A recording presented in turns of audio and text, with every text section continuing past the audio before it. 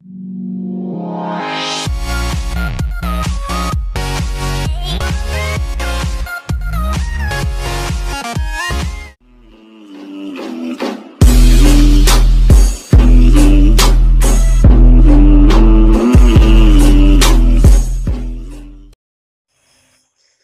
ছাত্ৰ ছাত্ৰীসকল আশা ৰাখিছোঁ তোমালোক সকলোৱে ঘৰতে আছা আৰু নিজৰ অধ্যয়ন চলাই আছা। গতিকে আজি মই তোমালোকক এটি নতুন পাঠ পঢ়াম। নৱম শ্ৰেণীৰ এটি পাঠ। গতিকে আজি কিছুদিন মই তোমালোকক কোনো নতুন পাঠ দিব পৰা নাছিলোঁ কিছু অসুবিধাৰ কাৰণে। গতিকে এতিয়া মই ইতিমধ্যে দুদিন আগত এটা পাঠ দিছিলোঁ। নৱম শ্ৰেণীৰ সপ্তম পাঠটো দিছিলোঁ আৰু ষষ্ঠ পাঠটো ৰৈ গৈছিলে। পঞ্চম পাঠলৈকে মই আগতেই দিছোঁ। গতিকে আজি সত্ৰ ষষ্ঠ পাঠটোৰ ওপৰত আলোচনা কৰিম। গতিকে এই পাঠটোত এটি কাহিনী আছে তোমালোকে আগতে হয়তো কাহিনীটো পাইছা। বিষ্ণু শৰ্মাই পণ্ডিত বিষ্ণু শৰ্মাই লিখা পঞ্চতন্ত্ৰ নামৰ এখন গ্ৰন্থৰ পৰা এই কাহিনীটো লোৱা হৈছে। তাৰে মিত্ৰভেদ নামৰ এটি খণ্ডৰ পৰা কাহিনীটো লোৱা হৈছে। ইয়াত এই কাহিনীটোৰ মাধ্যমেৰে কিদৰে এটা দুৰ্বল প্ৰাণী অৰ্থাৎ এটি সহায় নিজৰ বুদ্ধিৰ দ্বাৰা বহুত বলৱান সিংহক পৰাস্ত কৰিছিলে অৰ্থাৎ সিংহক মৃত্যুৰ মুখলৈ ঠেলি দিছিলে এই কথাটো এই কাহিনীৰ জৰিয়তে আমাক বুজাইছে। গতিকে কাহিনীটো পঢ়িলে আমি গোটেই কথাখিনি ভালদৰে বুজিব পাৰিম। গতিকে চোৱা পাঠটো ষষ্ঠ পাঠ সিংহ শশক কথা অৰ্থাৎ সিংহ আৰু সহাৰ কাহিনী। গতিকে ইতিমধ্যে কাহিনীৰ কথাখিনি কি বুজাব বিচাৰিছে আমি গোটেই কাহিনীটো পঢ়িলে গম পাম। এতিয়া চোৱা আমি তোমালোকক মই টেক্সটখিনি ইয়াত ভিডিঅ'ত দি দিছোঁ। তোমালোকে চাবা কিতাপখনো লৈ ল'বা লগত আৰু তোমালোকে মোৰ কথাখিনি শুনিবা আৰু বুজিবলৈ চেষ্টা কৰিবা।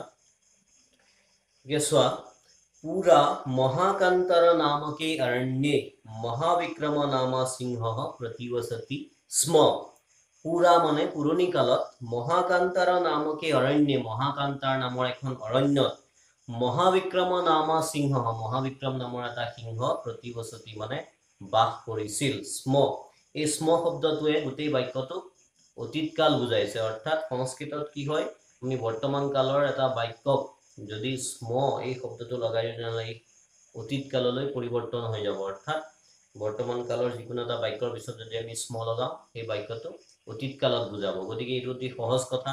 গতিকে সহজতে আমি অতীত কাললৈ নিব পাৰোঁ। আৰু এনেই বেলেগ নিয়ম আছে কিন্তু এইটো এটা অতি সহজ নিয়ম। গতিকে এই বাক্যটোত বুজাইছে যে পুৰণি কালত মহাকান্তাৰ নামৰ অৰণ্যত মহাবিক্ৰম নামৰ এটা সিংহই বাস কৰিছিলে। চ চ সৰ্বদা যথেচ্ছম বহুন পশুন অহন। চ মানে তেওঁ চ মানে আৰু। আৰু তেওঁ সৰ্বদা সদায় যথেচ্ছম যথা ইচ্ছম অৰ্থাৎ ইচ্ছা অনুসৰি। বহুন পশুন অহন বহুতো পশু অহন মানে হত্যা কৰিছিলে মাৰিছিলে বধ কৰিছিলে। ততঃ আতংকগ্ৰস্তাः অন্যে পশৱः মহাবিক্ৰমম সভয়ম অৱদন। ততঃ তাৰপিছত আতংকগ্ৰস্ত আতংকিত হৈ অন্যে পশৱः বাকী পশুবিলাকে মহাবিক্ৰমম সভয়ম অৱদন মহাবিক্ৰমক ভয়েৰে সৈতে সভয়ম অৱদন কৈছিল মহাৰাজ নিৰ্বিচাৰম পশুনাম বিনাশেন কিম হে মহাৰাজ আপুনি নিৰ্বিচাৰে পশুবোৰ কিয় হত্যা কৰিছে পশুবোৰনো কিয় বধ কৰিছে वयमेव प्रतिदिनं प्रभुराहारार्थम् एक एकं पशुं प्रेषयिष्यामः वयमेव আমি প্ৰতিদিনম প্ৰতিদিনে প্ৰভুৰ আহাৰাৰ্থম প্ৰভুৰ আহাৰৰ কাৰণে স্বামীৰ আহাৰৰ কাৰণে এক একম সন্ধি হৈ আছে এক একম পশুম প্ৰেষয়িষ্যাম এটাকৈ পশু উঠিয়াম তেন এব সন্তুষ্ট ভৱতু ভৱান তেন এব সন্ধি হৈ আছে তাৰ দ্বাৰাই সন্তুষ্ট হবতো সন্তুষ্ট হওক ভগৱান মানে আপুনি অৰ্থাৎ তাৰ দ্বাৰা আপুনি সন্তুষ্ট হওক মহাবিক্ৰমেৰ ভণিতম তথাস্তু মহাবিক্ৰমেও ক'লে যে তথাস্তু সেয়ে হওক প্ৰভৃতি প্ৰত্যহম একতমহ পশু সিংহস্য সমীপম অগচ্ছত ততঃ প্ৰভৃতি তাৰ পৰাই আৰম্ভ কৰি প্ৰতি অহম অৰ্থাৎ প্ৰতিদিনেই একতমহ পশু একোটাকৈ পশু সিংহৰ ওচৰলৈ গৈছিল। অৰ্থাৎ তেতিয়াৰ পৰাই একোটাকৈ পশু প্ৰতিদিনেই সিংহৰ ওচৰলৈ গৈছিল। তেনৈ বৰ তাৰ দ্বাৰাই সিংহপি সন্তুষ্ট অভৱত সিংহও সন্তুষ্ট হৈছিল। অথ একদা পটুকৰ্ণ নামকস্য কস্যচন শশকস্য ৱাৰহ সমাগতঃ আৰু কি হ'ল ইয়াৰ পিছত একদা এবাৰ পটুকৰ্ণ নামৰ কস্যচন কোনো এক শশকস্য শশক মানে শহা শহা পশু অৰ্থাৎ এবাৰ পটুকৰ্ণ নামৰ কোনো এটা সহাৰ ৱাৰহ সমাগত সমাগত মানে আহি পৰা ৱাৰহ মানে লোৱাৰ মানে পাল। অৰ্থাৎ ইয়াৰ পিছত পটুকৰ্ণ নামৰ কোনো এটা সহাৰ পাল পৰিল। শশকহ চিন্তায়াত সহায় চিন্তা কৰিছিল। চিন্তা কৰিবলৈ ধৰিলে যে অদ্য সিংহস্য হস্তে মম মৰণম নিশ্চিতম। আজি অদ্য মানে আজি সিংহস্য হস্তে সিংহৰ হাতত মম মৰণম নিশ্চিত মোৰ মৰণ নিশ্চিত মোৰ মৃত্যু নিশ্চিত। যদি শীঘ্ৰম গচ্ছামি তথাপি মৰণম। যদি সোনকালে যাওঁ শীঘ্ৰম মানে সোনকালে যাওঁ তথাপি মৰণম তেতিয়াও মৰণ নিশ্চিত।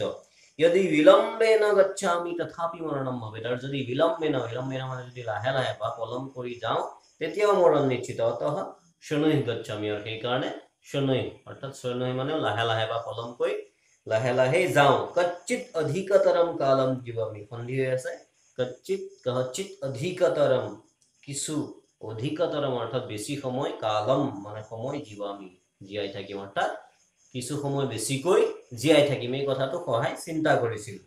এইবমেব শশকস্য বিলম্বেন মহাবিক্ৰমস্য তীব্ৰতৰা অভৱত আৰু এইদৰে এইবমেব মানে এইদৰে শশকস্য বিলম্বেন সহাৰ বিলম্ব হোৱাৰ ফলত মহাবিক্ৰমস্য তীব্ৰতৰা অভৱত মহাবিক্ৰমৰ তীব্ৰতৰা মানে তেওঁ ধৈৰ্য হেৰাই গৈছিলে আৰু ৰ'ব নোৱাৰা হৈছিল। অথ যদা পটুকৰ্ণ সমায়াত। তদা মহাবিক্ৰম স্বক্ৰোধম অৱদত।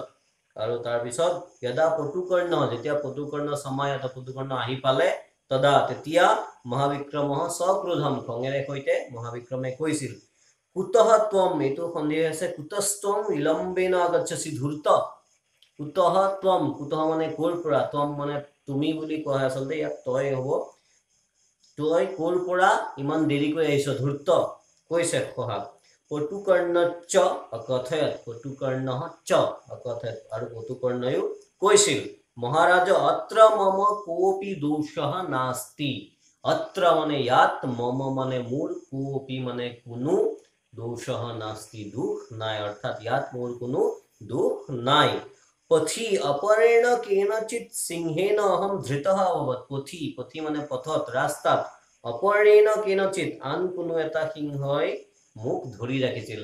কেনচিত সিংহেন অৰ্থাৎ সিংহৰ দ্বাৰা মই ধৃত হৈছিল। অৰ্থাৎ ৰাস্তাত আন কোনো এটা সিংহই মোক ধৰিছিল। তেন সিংহেন উত্তম ইয়াতো সন্ধি আছে সিংহেন উত্তম সিংহেন উত্তম আৰু সেই সিংহটোৱে কৈছিল যে ইয়াত অস্মিন অৰণ্যে যদস্মিন অৰণ্যে এইটো সন্ধি আছে ছয়ব ৰাজা ভৱতি যে সেই সিংহটোৱে কৈছিল যে এই অৰণ্যত তেওঁৱেই ৰজা।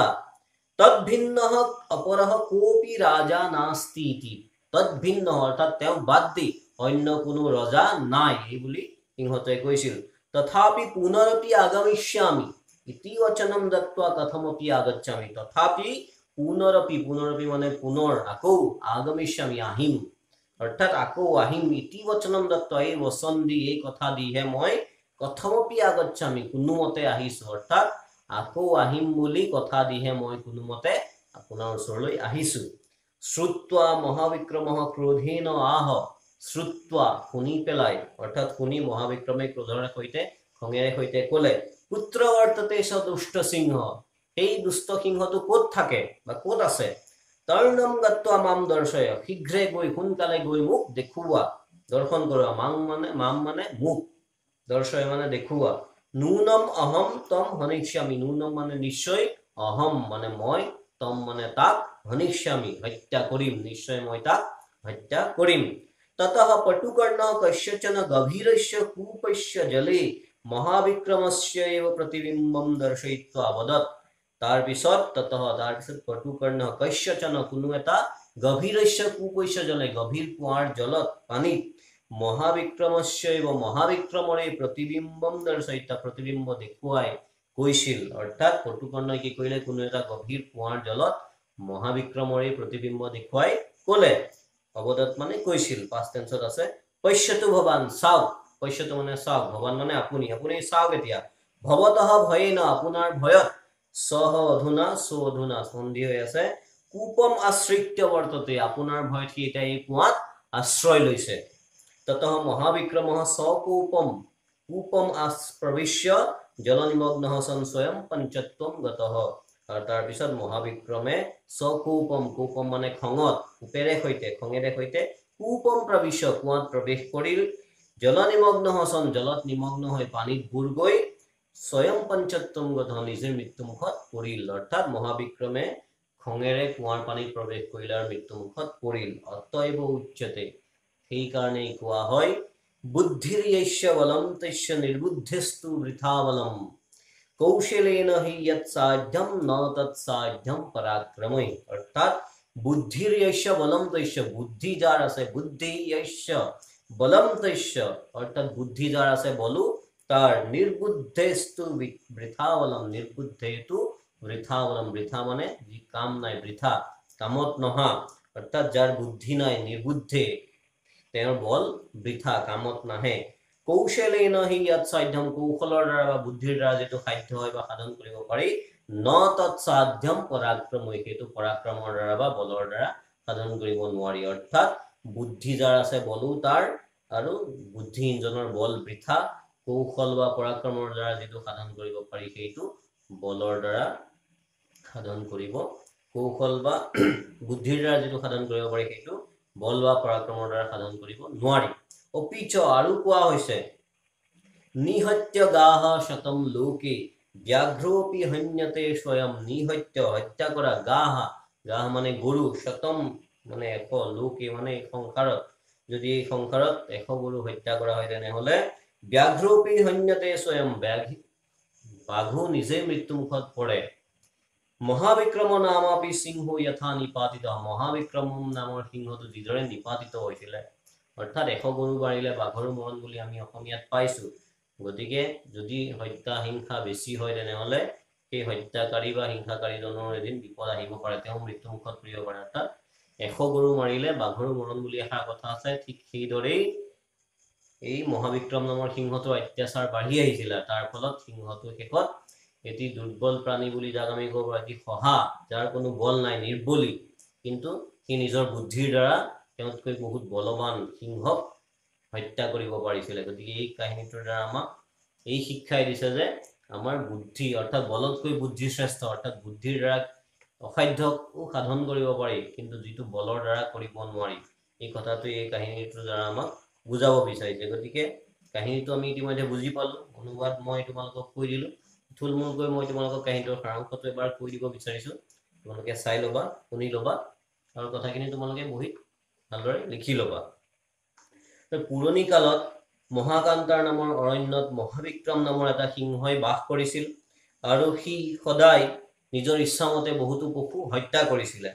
আৰু তাৰপিছত আতংকগ্ৰস্ত হৈ আতংকিত হৈ অন্য পশুবিলাকেও মহাবিক্ৰমক ভয়েৰে কৈছিল। যে মহাৰাজ আপুনি কোনো বিচাৰ নকৰাকৈ পশুবোৰ কিয় বধ কৰি আছে?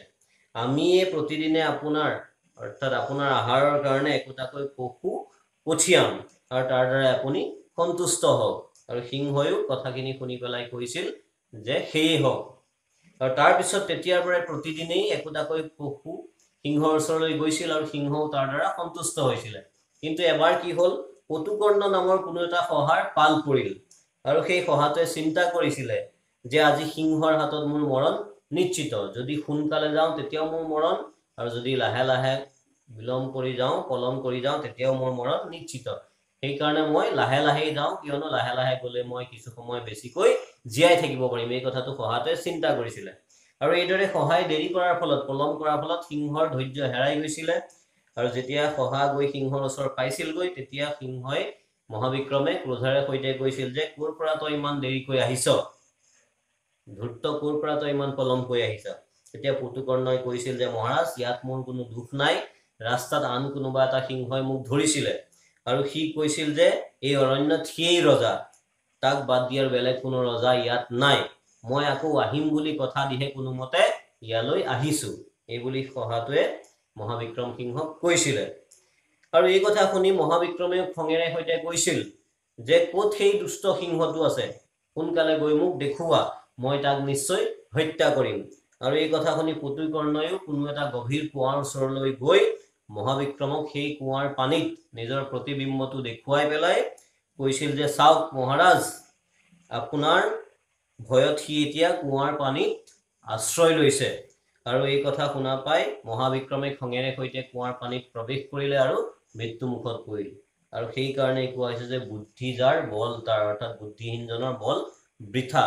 আৰু কৌশলৰ দ্বাৰা বা বুদ্ধিৰ দ্বাৰা যিটো কাম সমাধা কৰিব পাৰি সেইটো বল বা পৰাক্ৰমৰ দ্বাৰা নোৱাৰি। ঠিক সেইদৰে এশ গৰু মাৰিলে বাঘৰো মৰণ বাঘেও নিজৰ মৃত্যুমুখত পৰিবলগীয়া হয় যিদৰে মহাবিক্ৰম নামৰ সিংহটোৰ মৃত্যু হ'ল। অৰ্থাৎ এই উদাহৰণটোৰ দ্বাৰা আমাক সেই কথাটো বুজাই দিছে। গতিকে বুদ্ধিৰ জৰিয়তে বহুতো কাম সমাধান কৰিব পাৰি যিটো বলৰ জৰিয়তে নোৱাৰি। গতিকে এই পাঠটোৰ কথাখিনি আমি ইতিমধ্যে বুজি পালো। আশা ৰাখিছোঁ তোমালোকেও ভালদৰে বুজিব পাৰিছা। গতিকে ইয়াৰ পিছত যিখিনি প্ৰশ্নোত্তৰ আছে সেইখিনি আমি এতিয়া আলোচনা কৰিম।